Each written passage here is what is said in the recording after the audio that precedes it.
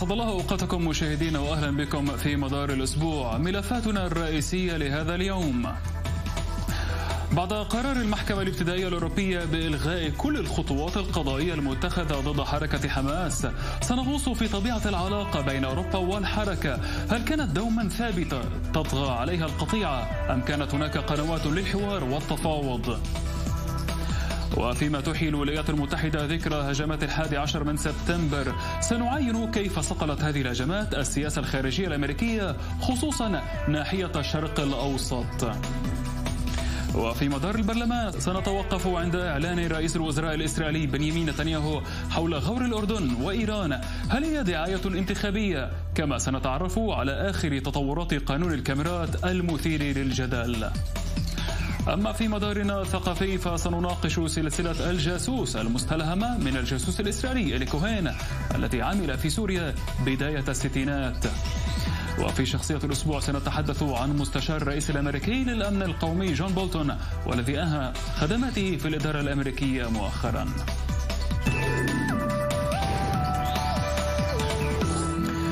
البداية من حماس وأوروبا. المحكمة الابتدائية الأوروبية مؤخرا ألغت كل القرارات المتخذة ضد الحركة وكتائب عز الدين القسام. الحركة رحبت بالخطوة واعتبرتها مقدمة لإزالة الحركة بشكل كامل من قائمة الإرهاب.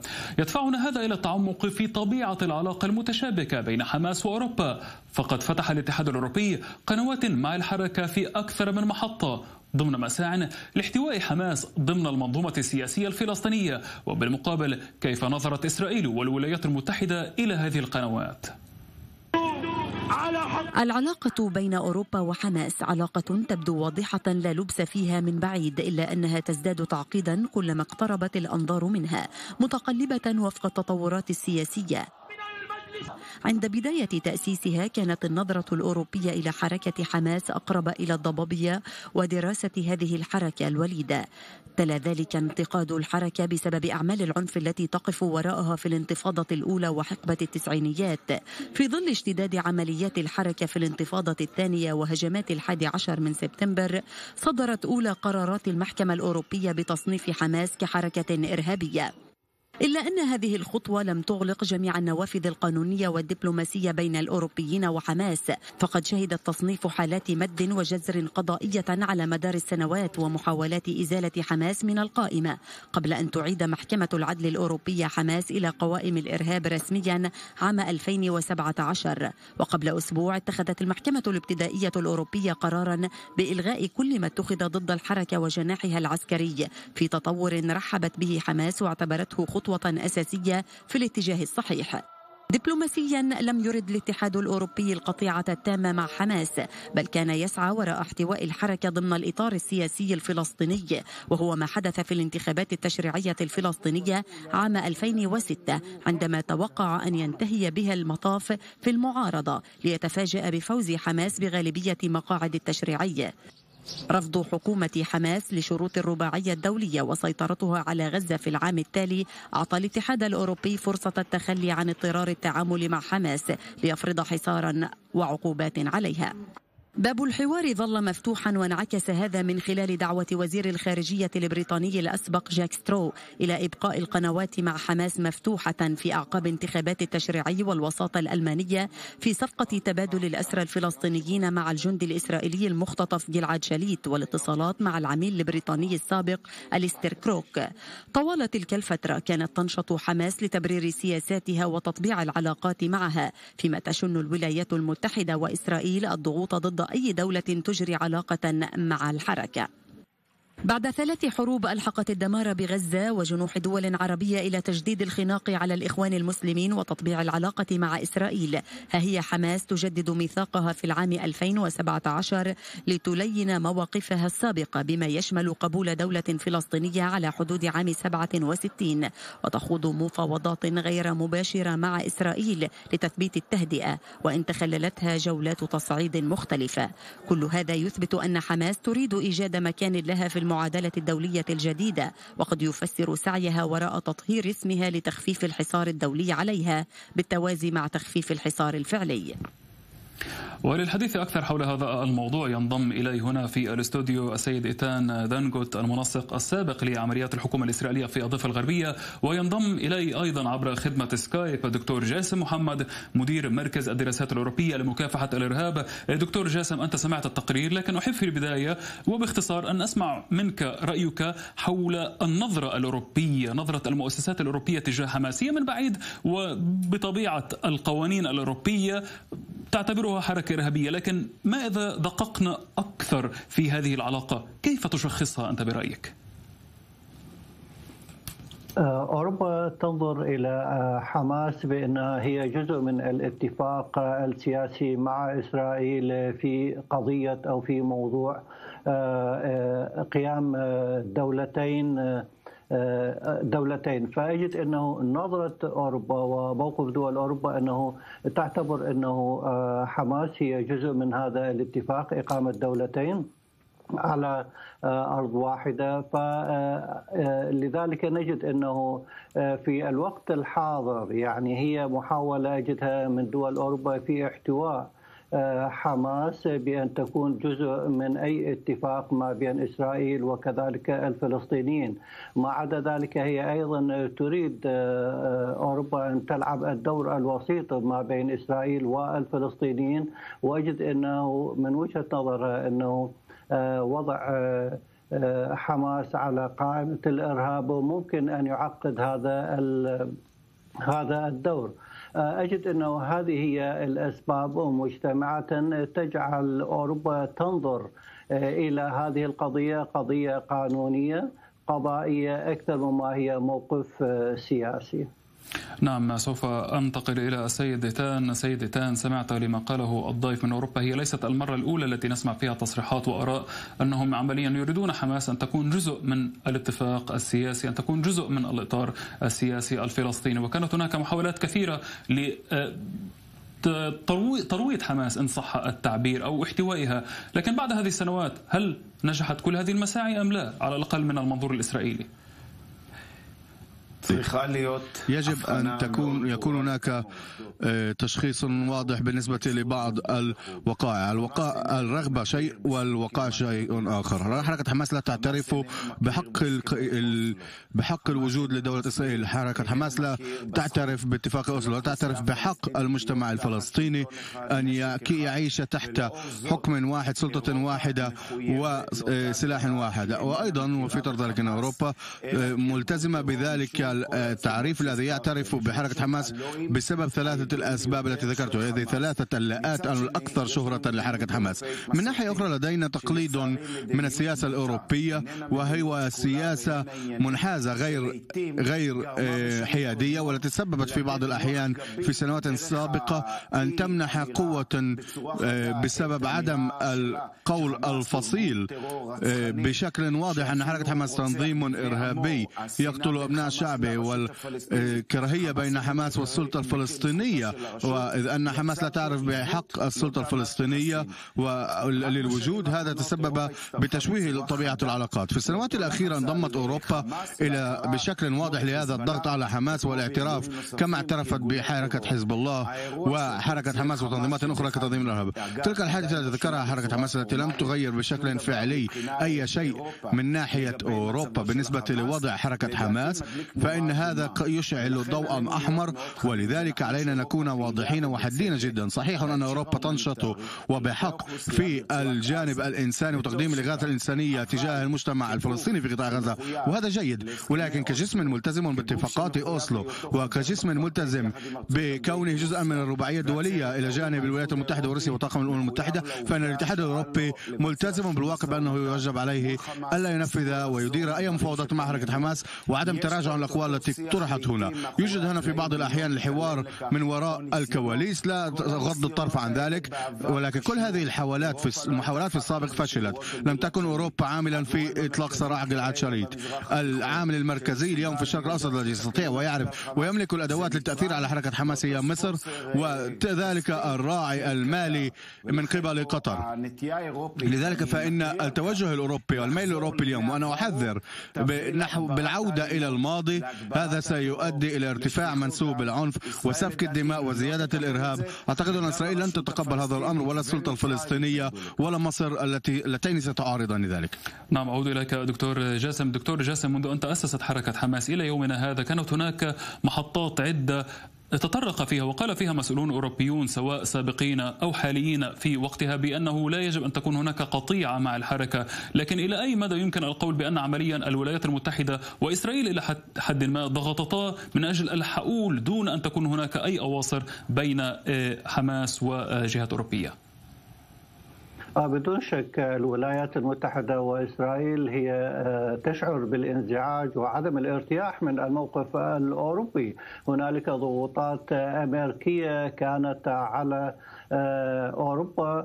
وخاصة ألمانيا وكذلك بريطانيا. يذكر بأن حماس هي جزء من تنظيم الإخوان الدولي ونجد أنه هنا أيضا في أوروبا جدل ما زال قائما رغم الضغوطات الأمريكية ومطالب ترامب. ما زال هذا الجدل قائم داخل أوروبا بعدم وضع جماعة الإخوان على قائمة الإرهاب برغم بأن دول أوروبا هي تحذر من أنشطة هذه الجماعة ومن مخاطر هذه الجماعة على أمنها القومي. الضغوطات هي قائمة لكن أوروبا تجد نفسها أنه تعتمد معايير مختلفة عن المعايير الأوروبية وعن المعايير الإسرائيلية وهي تختلف كثيرا في هذا الموضوع مع رئيس الحكومة الإسرائيلية نتنياهو في موضوعات المستوطنات على سبيل المثال أو ضم أراضي فلذلك أوروبا تحاول أن تحتوي مثل ما جاء في التقرير تحتوي جماعة أو حركة حماس في سبيل أن لا تخسر دورها أوروبا. الدور الوسيط في أي اتفاق سياسي لقيام الدولتين. نعم لكن سؤال وبعجالة هنا دكتور. تحدثنا عن الضغوط الأمريكية لكن برأيك هل هذه الضغوط تخف حدتها خاصة في ظل الحديث عن صفقة القرن وأن وفق التسريبات التي تسربت مؤخرا فإن وفق تفاصيل صفقة القرن سيكون هناك اتفاق ثلاثي إسرائيل مع السلطة الفلسطينية وأيضا مع حركة حماس أي أنها إلى حد ما سلمت بالأمر الواقع حول سيطرة حماس في غزة. ما يتعلق في الموقف الأوروبي حتى من مشروع القرن هنالك تحفظ أوروبي من هذه الاتفاقات وأجد إنه الاجتماعات الأخيرة التي كانت في وارشو قبل بضعة أشهر كان الموقف الأوروبي ربما رافض خاصة ألمانيا وفرنسا ولذلك كان هنالك غياب أوروبي. فيجد إن الضغوطات الأمريكية والضغوطات الإسرائيلية في هذا الموضوع سوف تكون ضعيفة. ما زالت أوروبا تحاول أن تأخذ الدور النمطي التقليدي والدور الوسيط ما بين آه، الدولتين. نعم أعود إليك سيد إيتان، سيد إيتان لقد قرأت حتى في بعض التقارير الإسرائيلية التي تتحدث عن أن هناك نشاطات ليس بالضرورة لحركة حماس وإنما لتنظيم الاخوان المسلمين العالمي بالأخص في بريطانيا حيث نجحت في عقد المؤتمرات المختلفة أي أنها هنا تتفوق على إسرائيل على الأقل في الحرب الإعلامية، برأيك هل هذه الفرضية صحيحة؟ وكيف سوف تستطيع تستطيع إسرائيل مواجهة هذه الظاهرة. أريد أن نتطرق أيضا لأقوال الضيف الدكتور المحترم الذي تحدث قبل قليل. انظر يجب أن نفرق بين سياقات الخلافات بالرأي الحقيقية والسلبية موقف أوروبا بالنسبة للمستوطنات والموقف الأوروبي بالنسبة للأراضي. مناطق A B و C وشؤون أخرى. ولكن كلنا ساذجون ونتفق على كلنا نتفق على أن الإرهاب وإرهاب وإرهاب وإرهاب. ولا لا يمكن أن تجلس ولا تتفاوض مع الإرهابيين ولا يمكن أن تفتحهم تمنحهم فرصة لفتح باب أنه عبر الإرهاب كي ينافسوا من جديد في الانتخابات. هذا أمر غير مقبول. خطأ 2006 بالنسبة للانتخابات يجب ألا يتكرر. الكل يدفع ثمن ذلك في المنطقة. إذا قمنا بنظر الأمور في حقيقتها فإن هذه الخلافات بالرأي قد تكون قائمة ولا تحدث اليوم بالنسبة لرأي. ولكن مواجهة الإرهاب يجب أن تنظر إلى الإرهاب في العين وأن تنفذ بعض الأمور كي تقطعه وتمنعه. إحدى منها هي وقف الاعتراف بحماس يجب الاعتراف بحماس كتنظيم إرهابي لست معارض لحركة الإخوان المسلمين. كل من لا يرفع علم الإرهاب وسفك الدماء ويملك أيديولوجية في شأن سياسي واجتماعي وديني. أعتقد أن هذه الأمور قبل الحوار ولكن ليست في هذه في هذا المكان. ليست كجزء من في سياق الصراع الإسرائيلي الفلسطيني حماس هي المهيمنة وتجلس وتسيطر وتتحكم بمجتمع فلسطيني من 2 مليون شخص وتجرهم بواسطة الإرهاب وتدير تنظيما إرهابيا يزداد من تسليحه بدل أن يتحول الأموال إلى المجتمع الفلسطيني تتحول أموال إنتاج الصواريخ يواصلون بدل أن يحصل المجتمع الفلسطيني على الكهرباء يتم تزويد الكهرباء فقط للأحياء التي يسيطر فيها حماس. وأكرر القول أن التوجه تجاه حماس الخط بمواجهة حماس مشابه للمواجهة الخط المواجه لحزب الله. العالم ملتزم بالعقوبات ويجب أن تلتزم بالنسبة لصفقة القرن لا أعرف ما هي صفقة القرن. أعرف ما يتحدثون عنها وما يقولون حتى يحدث من وراء الكواليس لم تنشر حتى الآن من قبل الأمريكيين لم أرى خطة أمريكية تأتي بشكل عملي وأقول ذلك من منطلق عملي وخبرتي في الجيش الإسرائيلي الذي جاء وطرح عدة أمور. على سبيل المثال في شؤون كمحاربة آه، البيئة حماية البيئة وشؤون تحظى بدعم إسرائيلي وتحسن الوضع الأمني ما إن تنشر صفقة القرن سيكون بالإمكان الحديث عنها ولكن الخطة تفرق بشكل واضح بين الشأن السياسي حماس ليست شريك سياسي هي تسيطر اليوم على المجتمع الفلسطيني ولا تسمح للسلطة الفلسطينية العودة إلى قطاع غزة لديها شريك. كالجهاد الإسلامي الذي يحظى بتمويل من إيران وحركة إرهابية عدا عن التهديد الأمني لدولة إسرائيل. وسفك الدماء بالنسبة لل... أيضا في الشرخ بين السلطة الفلسطينية في الضفة الغربية. حركة حماس تزيد هذا الشرخ وتمنع المجتمع الفلسطيني بقطاع غزة من رفع رأسه. نعم دكتور جاسم سؤال أخير. الآن من الناحية القانونية أنت تدرك بأن حماس قبل عامين غيرت من ميثاقها أبدت لينا وقالت بأنها مستعدة ضمنيا بدولة فلسطينية لحدود 67 نعم. والآن حماس تقول وجهة نظرها بأن وفق القانون الدولي المقاومة في الأراضي المحتلة أمر مشروع. هذا الأمر كيف يمكن أن تستغله قانونيا لإزالة اسمها من قوائم الإرهاب الأوروبية؟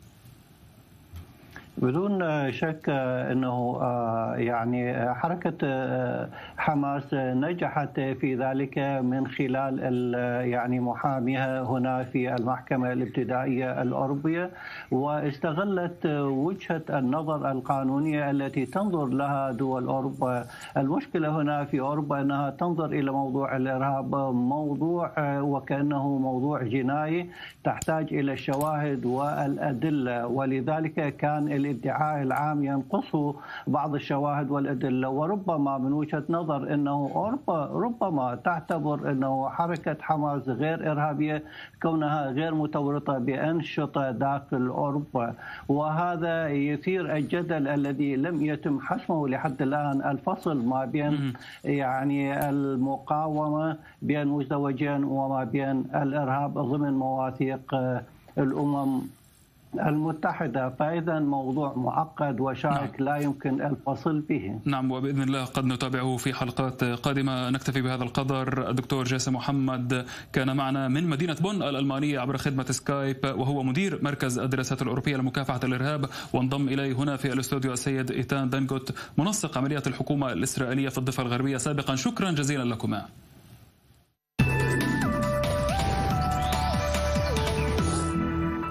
الكل يجمع أن هجمات الحادي عشر من سبتمبر أيلول أعادت صقل السياسة الخارجية الأمريكية بشكل جذري. فقد اتخذت واشنطن من هذه الهجمات مبررا لشن حروب وعمليات عسكرية في أصقاع الأرض وكان للشرق الأوسط النصيب الأكبر منها. بعد 18 سنة نسأل هل نجحت هذه السياسة؟ وهل حققت الإدارات الأمريكية المتعاقبة أهدافها أم زادتها تعقيدا؟ العالم بعد الحادي عشر من سبتمبر 2001 ليس ذاته العالم قبل هذا التاريخ. فقد أحدثت الهجمات التي تعرضت لها الولايات المتحدة يومها ثورة في سياستها الخارجية وانقلابا لملامح الخريطة السياسية والعسكرية في الشرق الأوسط. عادت ظروف تلك المرحلة إبراز المنظومة الدولية أحادية القطبية لترفع الولايات المتحدة شعارات إن لم تكونوا معنا فأنتم ضدنا والحرب على الإرهاب. واجتاحت تحت هذه الشعارات كلا من أفغانستان والعراق فيما سطع نجم الشخصيات السياسية الصقرية كنائب الرئيس ديك تشيني ووزير الدفاع دونالد رامسفيلد والمستشار جون بولتون.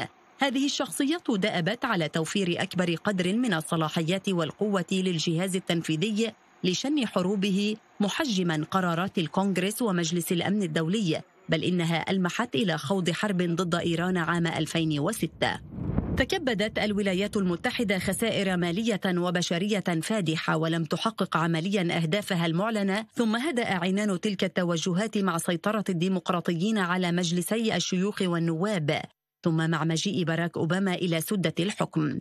تبنى أوباما سياسة الدبلوماسية والتعاون مع المنظومة الدولية وتحسب له بعض الإنجازات كالاتفاقية النووية الإيرانية.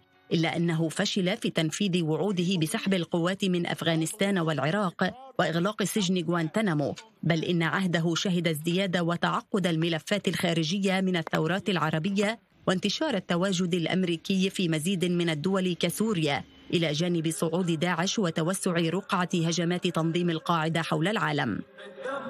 خليفته دونالد ترامب أراد تغيير استراتيجية بلاده فرفع شعار أمريكا أولا واختار ما يعرف بالانكفاء السلبي على الذات. أراد ترامب إغلاق كل الملفات الخارجية وبأقل كلفة ممكنة. أسلوب يبدو أنه تعثر هو الآخر. فقد تسبب بخلافات واستقالات داخل الإدارة الأمريكية وتوتر مع حلفاء الولايات المتحدة في الوطن العربي وأوروبا وحلف الشمال الأطلسي الناتو. أما توجهاته للانسحاب التدريجي من الشرق الأوسط وفرض العقوبات على إيران فقد انتقدت كونها ستفتح لطهران نافذة لزيادة نفوذها وما يسميه البعض نشاطات عدائية في المنطقة.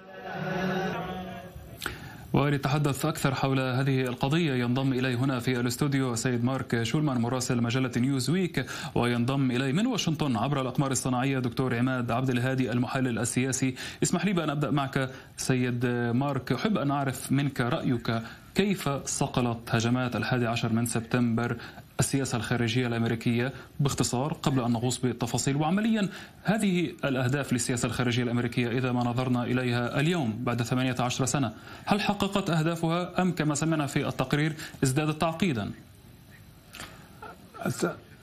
okay قبل كل شيء مسألة هجمات 11 أيلول 11 سبتمبر كان آه، تغيير كان مفترق طرق شكل مفترق طرق جديا في تاريخ الولايات المتحدة.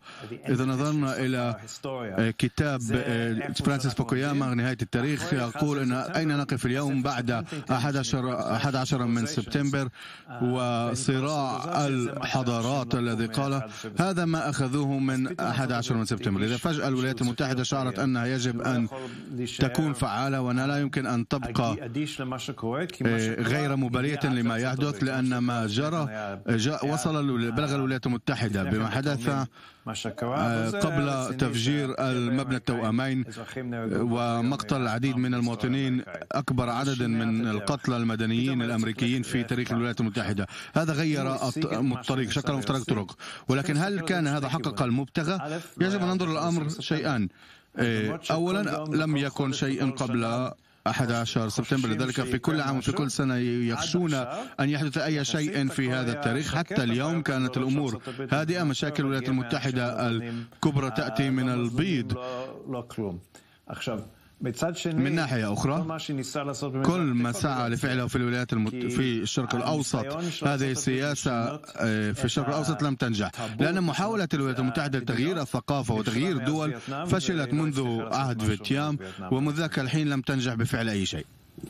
نعم أنتقل إليك دكتور عماد. دكتور عماد تحدث ضيفي هنا عن نقطة أحب أن نتعمق فيها أكثر. تحدث عن صراع الحضارات. أنت تعلم في فترة الثمانينات وبداية التسعينات كانت الحرب كانت أكثر بين الرأسمالية أو بين الولايات المتحدة والشيوعية ممثلة بالاتحاد السوفيتي. لكن هجمات الحادي عشر من سبتمبر عمليا كيف غيرت من هذا الميزان خاصة وأن الإسلام السياسي عمليا أصبح العدو الأكبر للولايات المتحدة؟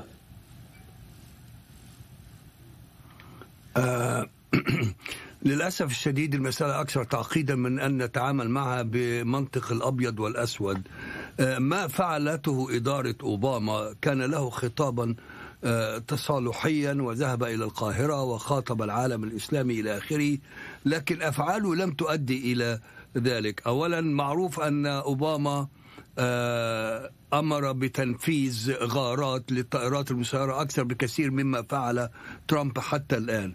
فإذا وإن كان أوباما يبدو على السطح أنه كان رئيسا حمائميا إذا كانت إذا جاز التعبير لكنه سياسته كانت في المقام الأول سياسة متشددة وهو الذي بدأ الحرب على داعش في العراق وسوريا. بعد أن ارتكب خطأ الانسحاب المبكر من العراق وكذا كان الأمر في أفغانستان واضطر إلى زيادة القوات هناك.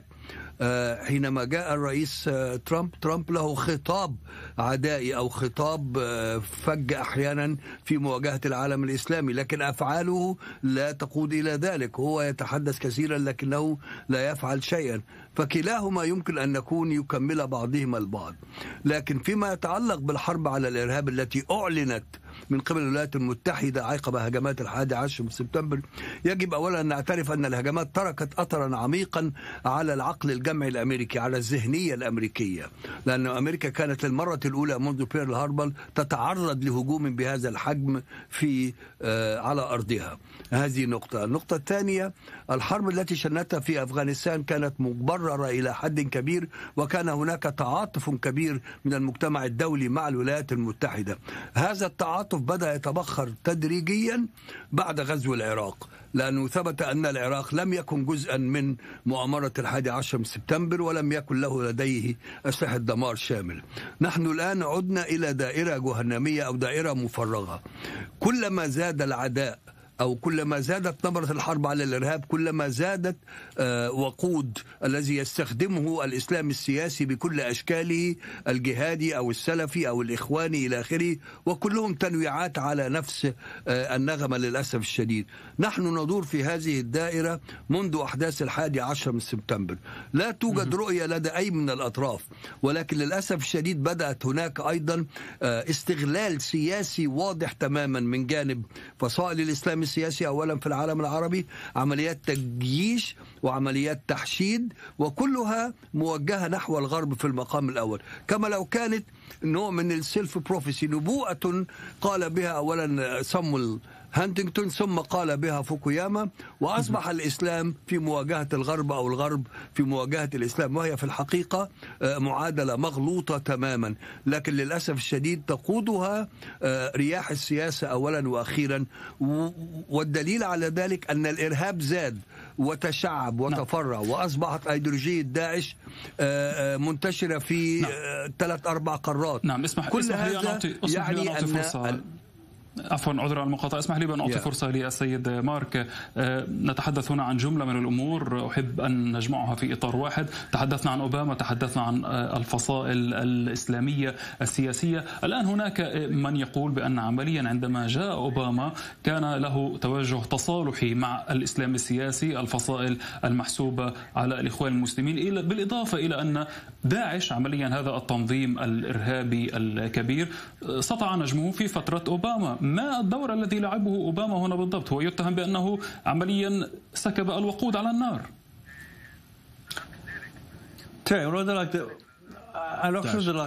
لا أعتقد أنه هو الذي ألقى الوقود أعتقد أن هذا نظرة ساذجية بعض الشيء وأعتقد أنه بالفعل وبحكم الحقيقة أراد أن يقوم بالمصالحة ولكن المصالحة كما نعرف هناك حاجة لطرفين لتحقيقه ولا لست واثق جدا أنه كان لا ينجح بفعل المصالحة مع شعب قسم كبير من الشعب المصري وكان سهل عليه أن يتواصل ويحقق المصالحة مع المثقفين وخريجي الجامعات ولكن العالم الغربي والعالم العربي حتى وكل جانب آخر في العالم ليس يوجد فيه أشخاص لا يرغبون بالمصالحة هناك ولديه أشخاص متطرفون يستغلون الدين للأسف الشديد. و...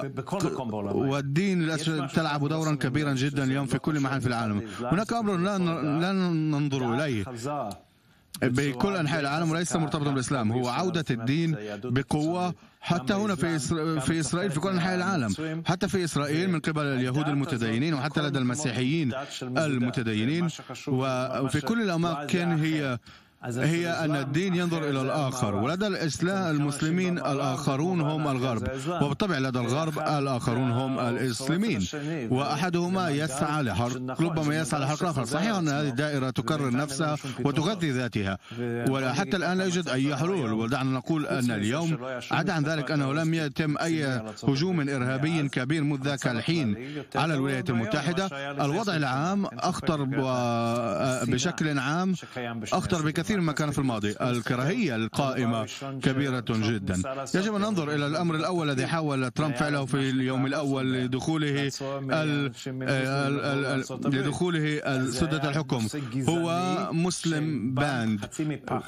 هذا أمر عنصري نبع من من خوف ومن عنصرية. ولكن لا يمكن القول أنه يوجد في العالم الإسلامي كراهية للولايات المتحدة. يوجد طرفين في كلا الطرفين ولكن لا أعتقد أن داعش أن أوباما هو السبب في بدء وصعود داعش ولكن أوباما كان بحسب رأيي طريقة متفائلا أكثر من اللزوم وحتى بالنسبة للجمهوريين كان يعتقد أنه يستطيع أن يصل واشنطن ويحقق المصالحة ويصعب تحقيق المصالحة عندما الطرف الآخر لا يرغب بها.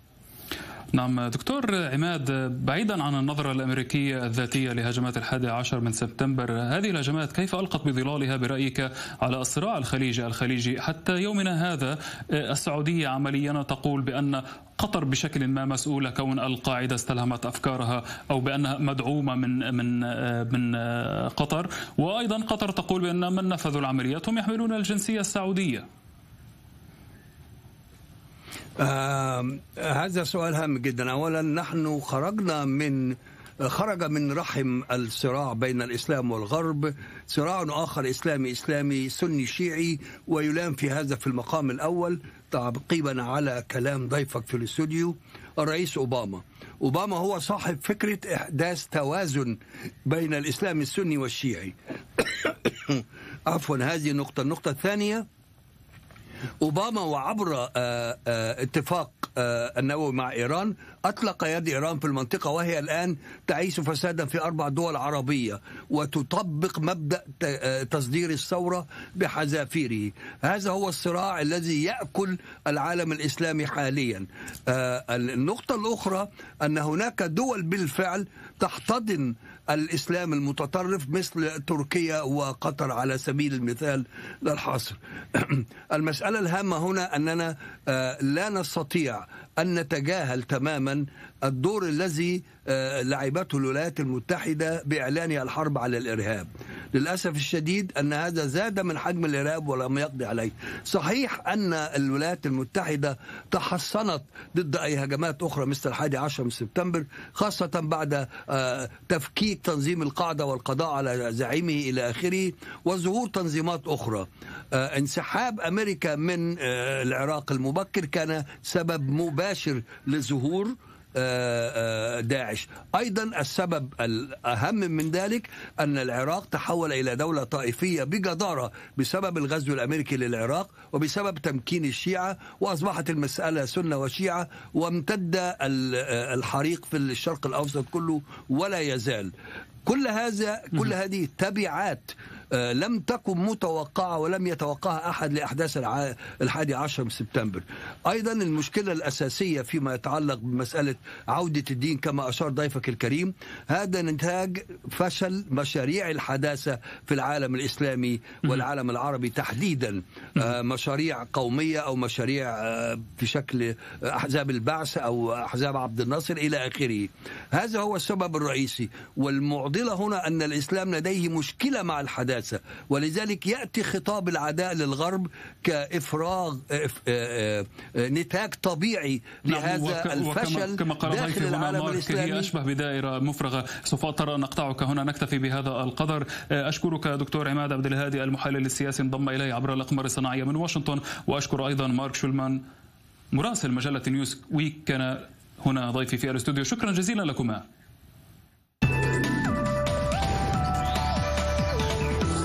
وإلى مدار البرلمان حيث ألقى رئيس الوزراء الإسرائيلي بنيامين نتنياهو خطابين حول كشف نشاطات نووية إيرانية سرية على حد تعبيره ونيته ضم غور الأردن في خطوة قرأت على انها دعايه انتخابية. إلى ذلك سقط مقترح قانون الكاميرات المثير للجدل لعدم تصويت أغلبية أعضاء الكنيست لصالح القانون. وحول هذه المواضيع وأكثر ينضم إلي هنا في الاستوديو زميل الصحفي في آي 24 عروة سيف. عروة أهلا وسهلا بك. قبل أن نغوص في هذه التفاصيل آخر أهم الاستطلاعات وشعبية الأحزاب قبل أيام من الانتخابات الإسرائيلية ما هي؟ ما يدور في عمليا في الإحصائيات. هو أن معسكر اليسار ويتفوق غانتس بطبيعة الحال ويتفوق أيضا في معسكر اليمين بطبيعة الحال فهم المتنافسين الرئيسيين. فالمقاعد متوازنة ما بينهم الاستطلاعات تمنح غانتس 35 مقعد وبنيامين نتنياهو 35 نعم زعيم تحالف كحول لفان وزعيم الليكود حزب الليكود. فعمليا التأرجح يقع الآن ما بين ما بين الأحزاب الباقية. فمثلا ليبرمان حزب إسرائيل بيتنا سوف يكون عمليا هو ال ال آه، النقطة ال سوف تحسم لمن سوف الكفة لمن سوف تميل هل لجانس أو لبنيامين نتنياهو؟ الإحصائيات الأخيرة تقول أن معسكر اليسار سوف يتفوق على بنيامين نتنياهو. نحن قبل ثلاثة أيام من الانتخابات قبل ثلاثة أيام من الانتخابات يستطيع يعني نحن الحلقة الأخيرة ما قبل الانتخابات نحن أيضا في برنامجنا.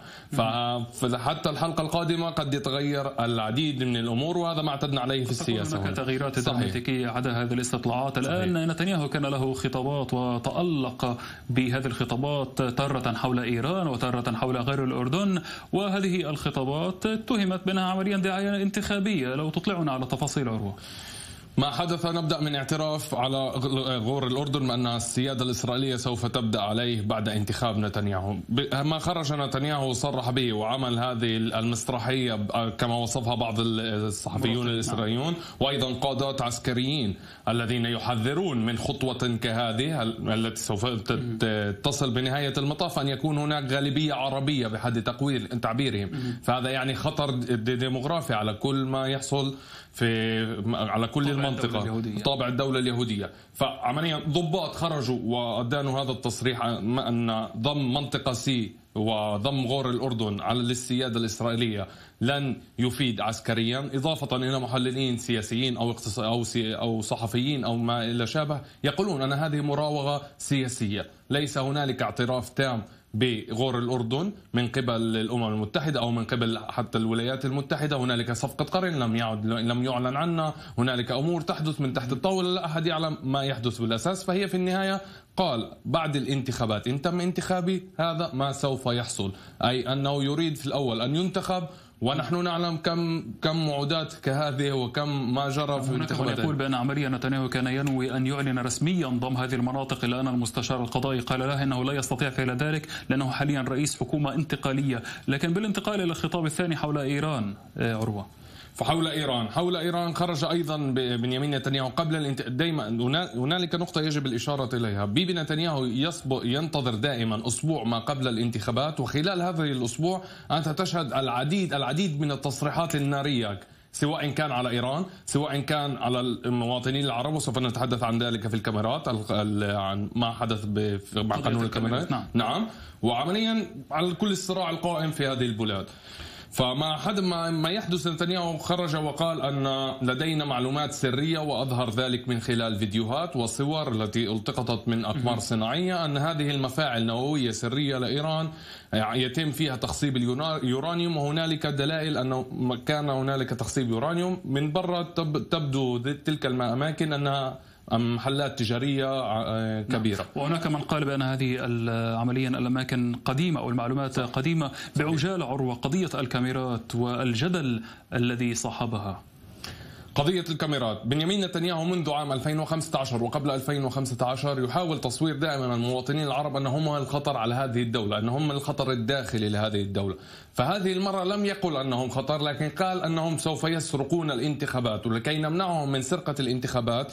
okay؟ سوف نضع كاميرات في صناديق الاقتراع. عمليات تزوير في الانتخابات. صحيح اتهم أن هنالك عمليات تزوير وإن رأينا ودققنا أكثر وأكثر نشاهد أنه أين حدث تلك عمليات نعم. التزوير كانت أكثر في مراكز قوة للليكود.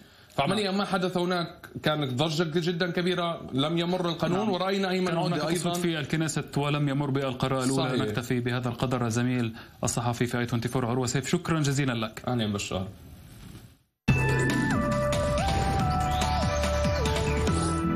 وإلى مدارنا الثقافي سلسلة الجاسوس سلسلة درامية من إنتاج أمريكي وتأليف سيناريو إسرائيلي تستند السلسلة إلى قصة حقيقية حول الجاسوس الإسرائيلي الي كوهين والدور الذي أداه خلال تقربه من شخصيات على رأس هرم السلطة بسوريا بداية الستينات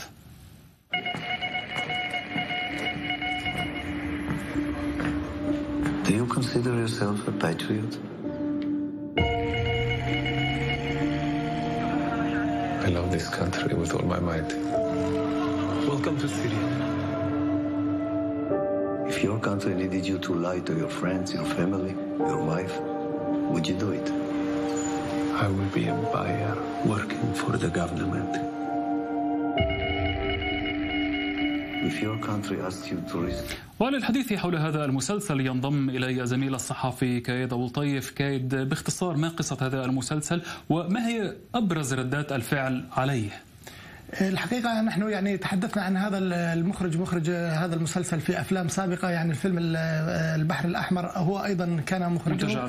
يعني يتحدث هذا المسلسل آه، خصيصا عن مسألة كل آه، الشبكات التي تمكن الجاسوس الإسرائيلي من اختراقها منذ وصوله إلى جهاز الموساد حتى يعني انتقاله إلى الأرجنتين والأرجنتين إلى آه، لبنان وسوريا.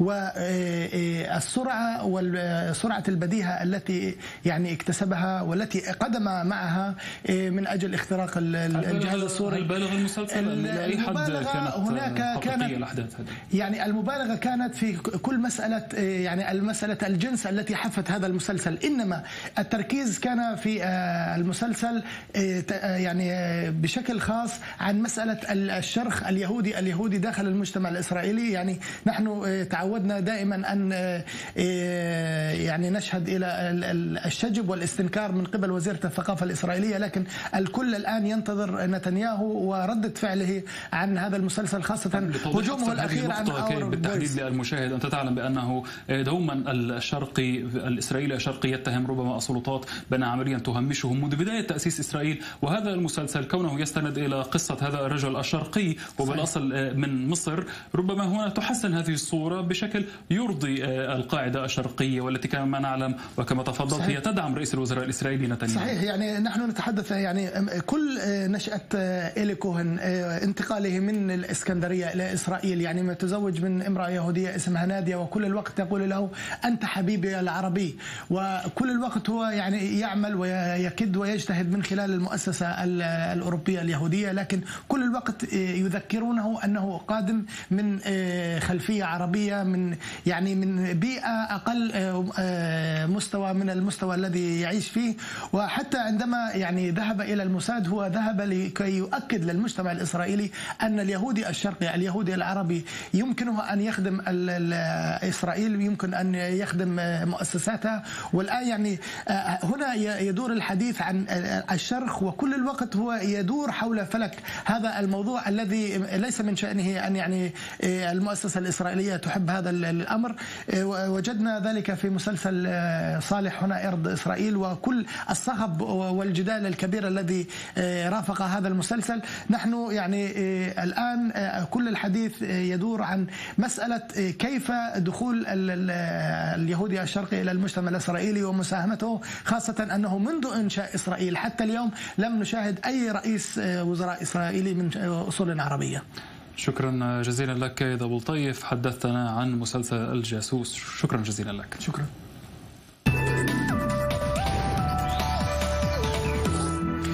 جون بولتون. شخصية سياسية أمريكية تثير جدلا. فبولتون معروف بأنه ضمن السياسيين الصقريين. سطع نجمه خلال فترة إدارة الرئيس الأمريكي جورج بوش الإبن ولدوره في الحروب التي خاضتها هذه الإدارة. وللحديث أكثر حول هذه الشخصية تنضم إلي هنا الزميلة الصحفية إكرام حجرات. إكرام هذا الاسم جون بولتون بمجرد أن يلفظ أو يذكره أحد يثير نوع من الرهبة هنا. لماذا؟ صحيح.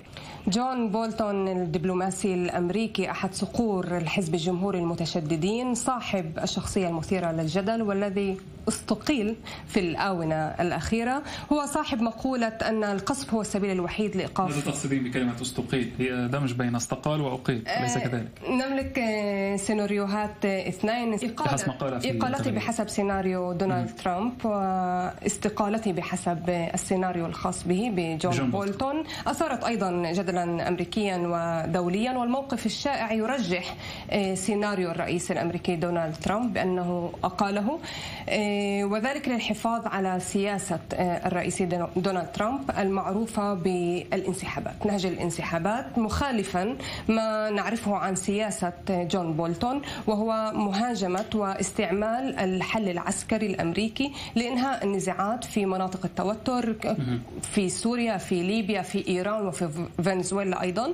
شهدنا مواقف وسمعنا مواقف مثيرة للجدل أيضا من جون بولتون وهو آخر منصب تولاه كان مستشار الأمن القومي الأمريكي وأعلى منصب أمني في الولايات المتحدة.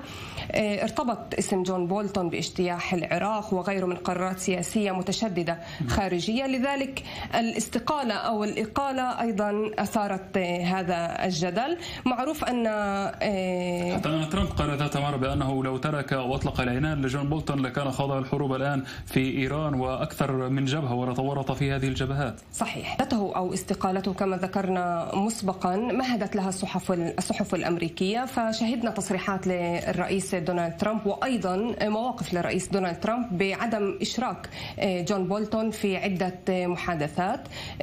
مع طالبان كمحادثات مع طالبان وأفغانستان صحيح.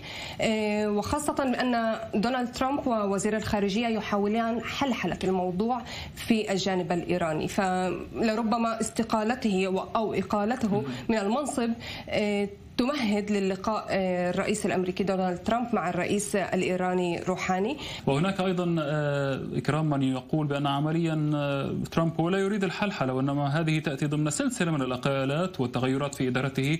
فشهدنا وزراء خارجية ووزراء دفاع يتغيرون وهو عمليا ربما يلصق بهم هنا تهمة الفشل في ملفاته الخارجية. لربما ولربما أيضا نسمع السيناريو الثاني للشارع الأمريكي بأن سياسة دونالد ترامب معروفة كما ذكرنا مسبقا بالانسحابات. ونحن نعلم أن أمريكا مقبلة على انتخابات في العام المقبل وهذا يضغط على الرئيس الأمريكي في جذب صوت الناخب الأمريكي والمحافظة على نهجه السياسي المعروف بالانسحابات. لذلك لربما الإقالات في المناصب الحساسة والأمنية في أمريكا هي أحد الوسائل المستخدمة في الحملة الخاصة في دونالد ترامب للانتخابات المقبلة. نعم نكتفي بهذا القدر الزميله الصحفيه اكرام حجيرات شكرا جزيلا لك شكرا. على هذه المعلومات إلى هنا نكون مشاهدينا قد وصلنا إلى ختام هذه الحلقة من مدار الأسبوع شكرا لطيب المشاهدة إلى اللقاء.